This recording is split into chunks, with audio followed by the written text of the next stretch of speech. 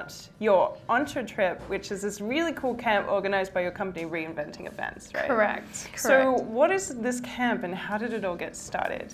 Yeah, so a couple of years ago, um, a group of six ladies came together that didn't know each other, um, was organized by another founder, um, to bring people together just to talk a little bit about being entrepreneurs and what does that mean.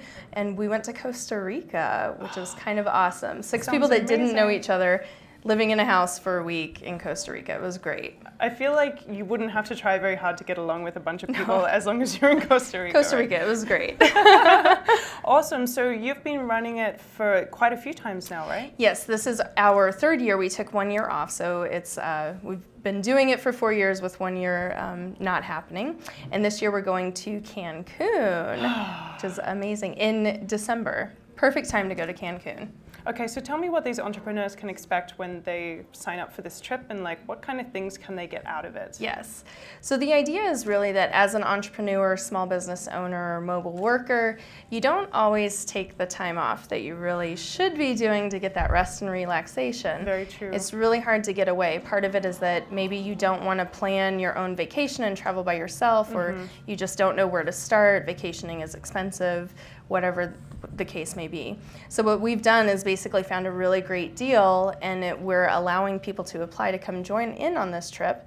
Um, as entrepreneurs and small business owners, it gives us a chance to kind of get real with each other and share those fears, doubts, tips, tricks, all of that good stuff. Sounds like a fabulous retreat, and Yes. for once, they don't have to be running the show. That's right. That's right. Um, we do have time built in where uh, people can actually get work done, so it can be a workcation if you need it to Mm. Be, or you can go off the grid. from that. Yes.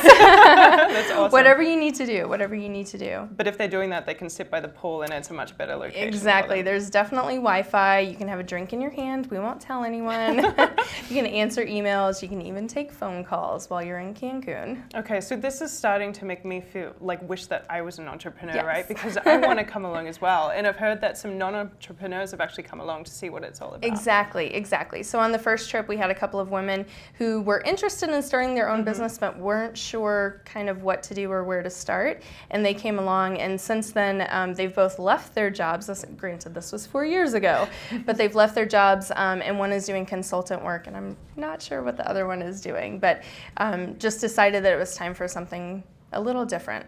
That's super cool. Like I love those stories that come out of it. Yeah. So this is going to be happening in November, right? Correct. So I'm basically going for two weeks, and I'm opening it up to anyone uh, can come down. You basically select the dates that you want to come. Okay. So I'm going November 29th through December 14th, and it's approximately $150 per night, and that's all inclusive. so That's a that's your steal. food, your room, um, tipping. There's no tipping. Uh, I'm also working with a uh, travel agent, so if you need help booking a flight, we can help you with that as well. Fabulous. Yeah. So for people that want to sign up, are there still spots available, and how do they do that? Yes, absolutely. And I would love for anyone to come. Um, if you go to entretrip.com, it's E N T R E T R I P dot com. Um, there is an application tab, so just click the application. Basically, that's just my way to vet of who's coming, why are you coming. You answer a question like, what do you hope to uh, bring to the table, and what do you hope to get out of it. So we'll approve your application. I'll help you get a room, help you book your flight, and we'll be good to go. Done and dusted. Yeah. Thank you so much. This sounds amazing, doesn't it? Please thank Karen for talking about EntreTrip. Yeah, thank you so much. Thank you. All right. So we are here with Ian, and Ian is from an awesome sounding company called Discotech, and we're about to talk to you what that's all about. Great. But before I forget, I would like you to do the honor of picking the downtown fortune cookie of the week. All right, my honor. Anyone you like. Are you getting down I got there? one. All right. Uh, can we get our special fortune cookie handler, please, Alan? Thank That's you. the one. so we're going to play a game with, of telephone with that in the audience later on. Awesome. However, you are here to talk about your company Discotech, right? And Discotech just moved to Vegas Mm-hmm. Yep. Mm-hmm. a couple of months ago, so welcome. Thank you. It was three months ago, right? Yeah, we moved here from Los Angeles. Okay, so your company does have a special kind of connection with Vegas, Absolutely. and so why don't you tell me what you're all about? Yep. So Discotech is an open uh, is a uh, mobile app company. We're live on the iPhone and Android, and we're essentially an open table for nightlife. we let our end users um, go on the app and browse for events, see what's going on, see what DJs are playing, and then ultimately get access to the club. So whether it's buying bottle service, mm-hmm. signing up for VIP guest lists, or uh, buying pre-sale tickets, it really makes it a lot easier and it lets people kind of avoid the process of going through traditional nightclub promoters. I hate that stuff. It's so stressful that yeah. by the time you've kind of haggled about the bottle service and, and like figured out how to get the free tickets if you're the ladies, because that's a perk of ours, you end up like super grumpy by the time you get to the club. So this takes just all of that effort out, right? Takes out all that trouble and you know we really came at it from the consumer side. Absolutely. Uh, just tired of dealing with promoters, getting mm-hmm. burned by different table pricing, having to haggle. We're like, there needs to be an app for this. So me so and my friends, yeah, just. Yeah, and what's awesome about it is you can see the prices right in the app too, right? That's right, yeah. Oh, so awesome. a lot of transparency, just taking a lot of the guesswork out of the, the whole process. Okay, so what took you so long to come to Vegas, since this seems like the perfect app, and like sort of mm-hmm. what other cities have you been doing this in? Yeah, so we actually built the product in San Francisco, but mm-hmm. San Francisco isn't really the right city to start a nightlife app.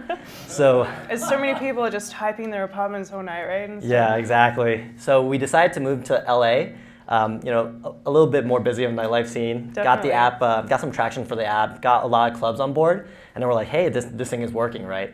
So we decided to come to Vegas, which is really the you know the mecca of nightlife. Mm, mm-hmm. And uh, since then, we've gotten all the, kind of the, the major clubs on the strip on board the app, and we're yeah we're going from there. So the clubs are happy. I've been hearing that you've been getting great feedback from the consumers as well. Mm.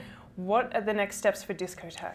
Yeah, it's really um, at this point time to scale. So the plan we're currently uh, going to San Francisco, going back mm-hmm. home to uh, kind of launch the app there, mm-hmm. and then it's other big cities: Miami, New York, Chicago. Uh, the idea is really to just let people, you know, no matter where they are, just kind of be able to go on the app and see what's going on. Well, there's never going to be a shortage of people ready to party. Yeah. So um, other than exactly yeah. right. So for people that want to um, check your app out, it's obviously in the Google Play Store and the iTunes um, App Store yep. as well. Uh, how else can people get in contact with you if they want to know more or partner with you? Yeah, people can email us. Uh, mm-hmm. we answer emails very aggressively. It's uh, info at discotech.me, so I-N-F-O, um, and a discotech is D-I-S-C-O-T-C-H, and then dot .me, M-E. Very clever name, I love it. thank you. Cool, well thank you so much for being on the show, and please give Ian from Discotech a round of applause. Thanks, thanks for having me. Thank you. Thanks,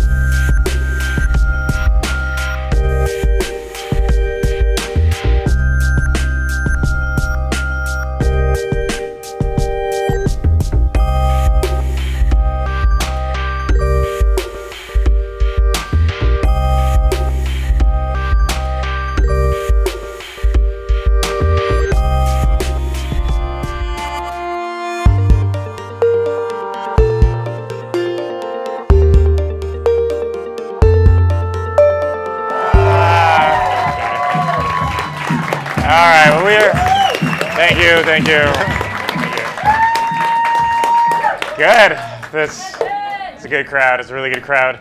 Um, okay, well, you guys are going to love our next guest. Our next guest is the Nevada State um, Commission Minority Affairs, works with the, sorry, our next guest is uh, part of the Nevada State Commission of Minority Affairs. He's also the uh, one of the founders of the first Pacific Islander fraternity, and he's had a bunch of involvement with a bunch of cool White House initiatives. Hopefully, we'll get a chance to talk about today. But one of the main things that you've done, and this is how I always introduce you to my friends, is like you spend a lot of time lobbying the FDA for cancer treatments, and this is an amazing person who, who's made some really good headway, and I want to talk about that too. And then, of course, you were in Joe Biden, uh, Vice President. You were in the um, motorcade, right? You had, I guess, lines of motorcycles just surrounding your cool body and, and, and driving the staff. Yeah, very cool. um, and then uh, he brought Kona Ice to Las Vegas, and also you created a very cool community partnership centric model about the way that grew. So a bunch of stuff to get through, but. Um, First off, I want to let everyone know. So the way me and Evan met was he bought me at a dating auction. so uh, this is not the first time we've hung out and chatted. Um, but uh, in all fairness, it was also Tony Hsieh and other other other people were involved, so it wasn't as romantic as you just envisioned. So don't be dirty.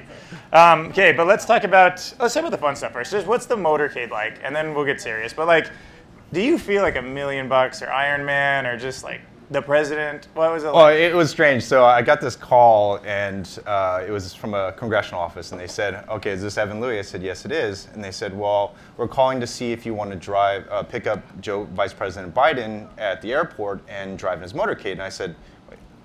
For real? like, they said, right, right. And then they also asked, uh, "Do you have three or four friends that want to come with you?"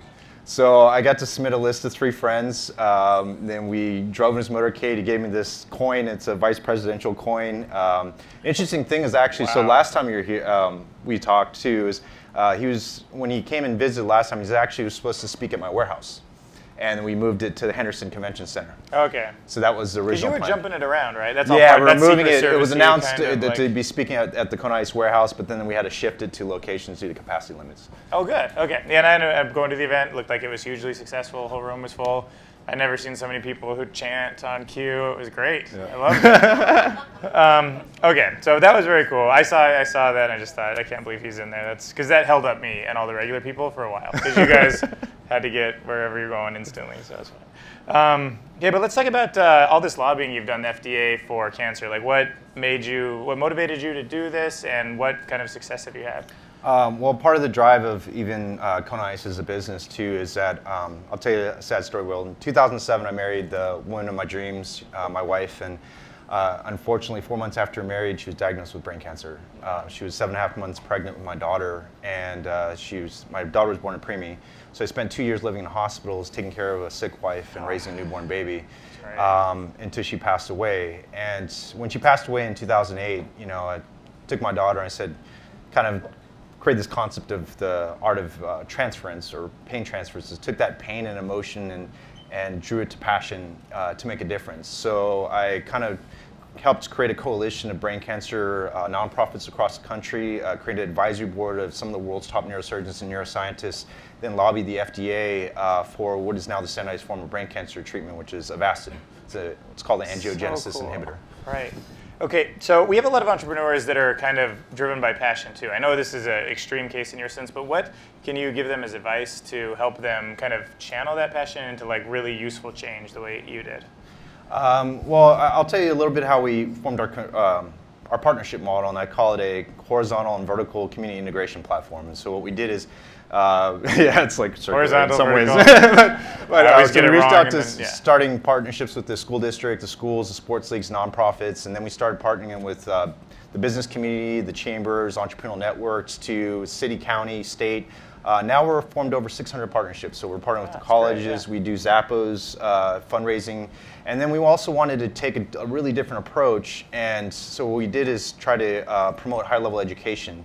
So we did start bringing like NASCAR drivers to the schools to promote, uh, and we actually brought a NASCAR driver, paired oh, up with a, um, another person talk about clean water in third world countries and we visited schools like there's 1400 kids in schools and nascar driver would talk about actually focus on stem so they talked about the engineering mathematics right. side of stem and uh, just really interesting experience and we've been just bringing anything from first ladies of countries in partnership with a, an or global organization to the dalai lama's head abbot who actually spoke at the learning village I gotcha.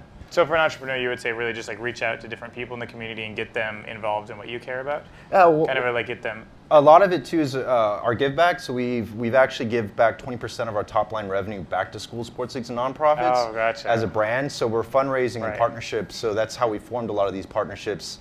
Um, and also co-sponsoring a lot of different events within the city. Um, but recently, the Las Vegas Visitor Convention Authority chose us as one of three businesess to represent the city of Las Vegas for uh, their Tourism Matters campaign.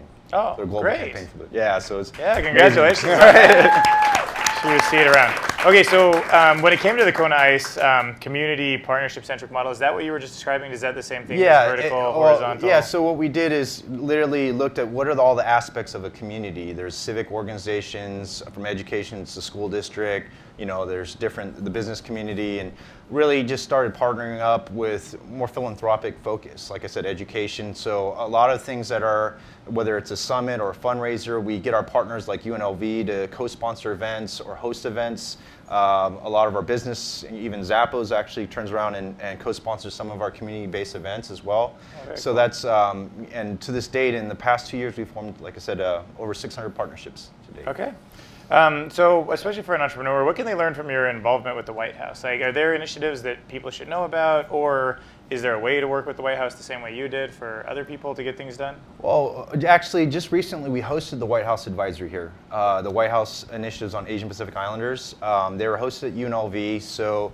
Um, to get involved, actually, there's uh, kind of an economic team that uh, calls that they have, um, and I can forward that to you, or they can forward to this group here. Yeah um, you know, and just participate in, in federal initiatives that may impact your businesses. So, um, and on state side, state capacity, I also chair economic development, so we have to track a lot of uh, things that happen on state. And a lot of the entrepreneurial issues right now we hear is access to capital is one of the key issues for small businesses. So, sure. You do a lot of things. Um, okay, so wearing a lot of hats. okay, well, we'll I guess we'll talk about the best ways to get in touch with you. But I mean, is that something? Uh, is that a public link that you're you're going to share, or Which is that one? like the one day White House Initiatives? Yeah. Yes. Okay, so maybe we could you guys could tweet at him. Do you have a Twitter? Is that a good place? Yeah, or I can email link. Okay, do you want your Twitter. email out there? Yeah, yeah. Okay, okay, go ahead. Give, give him your email then, so we it's, can. Uh, uh, it's personal. It's uh, evanlouie at gmail.com. So that's our. Uh, it's e v a n l o u i e at gmail.com. Okay, cool.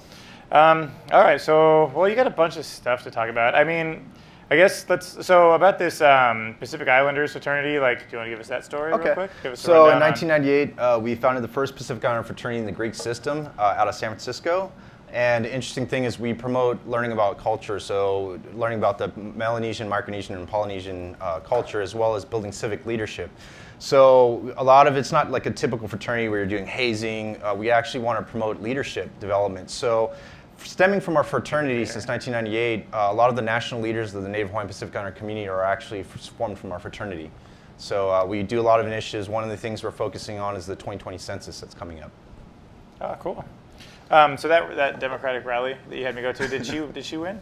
Was that good? Oh no, well it's still midterm. Oh, it's still happening. Okay, cool. November. Um, do you want to plug it? So you're supporting her. Uh, well, yeah. So a friend of mine, Erin Bilbray, is running for Congress, Congressional District Three.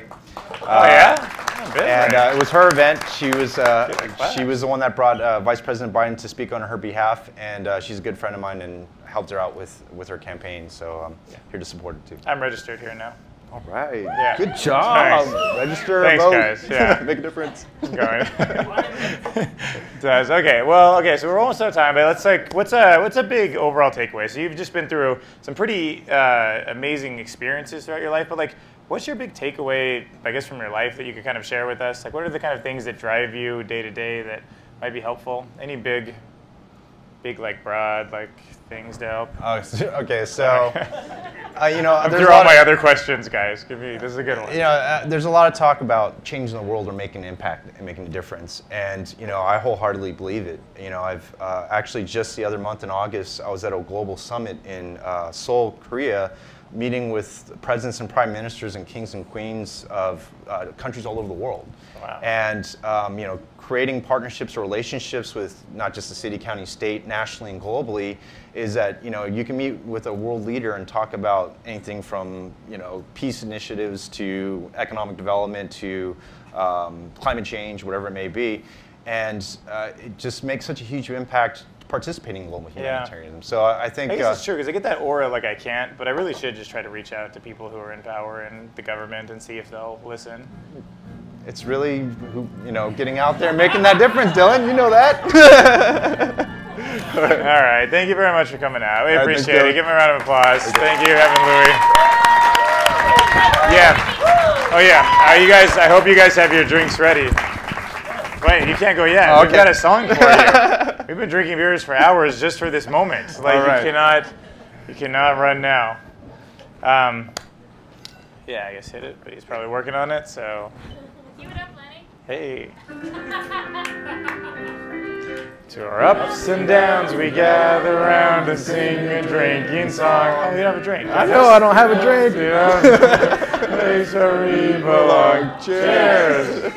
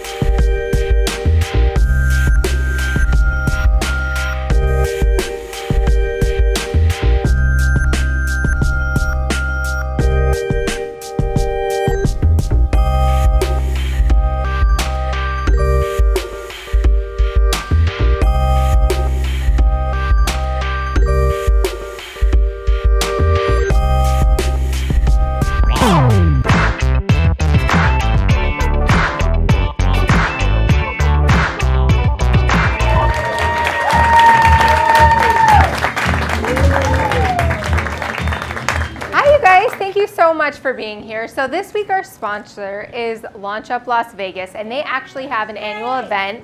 They took the year off last year because it's all volunteer based and they were really busy, but this year it's back. So it's super exciting. It's actually next Thursday and it's right before the podcast, so perfect for you guys. It's at Inspire Theater. It's from 7 to 9 o'clock, so you guys can come to the podcast right after, and it's a community entrepreneur um, sponsored event. So the tagline is entrepreneurs plus community plus energy and networking all in less than 90 minutes equals awesome.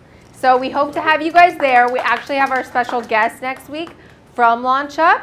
And so go to Inspire and then come to the podcast after. And don't forget to follow the podcast um, on Vine and Twitter, Facebook, and enter our Name the Llama contest too that we have going on. So thank you guys for being here.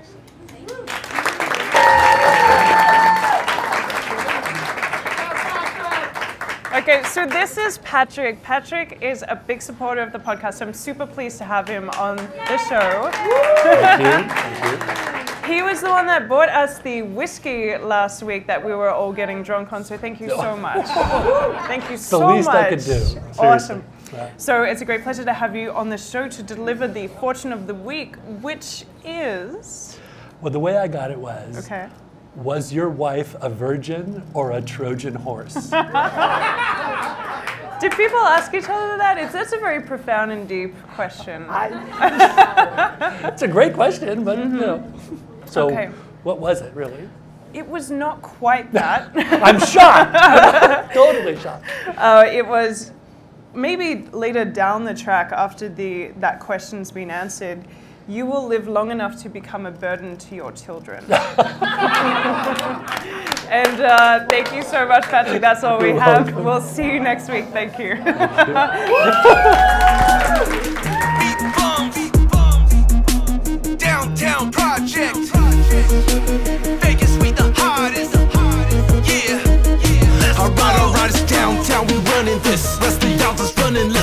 On and come up tip. Can share, we in this bitch. Tweet to your followers, remember like a flashback. Vegas tech, don't forget to spell it with the hashtag.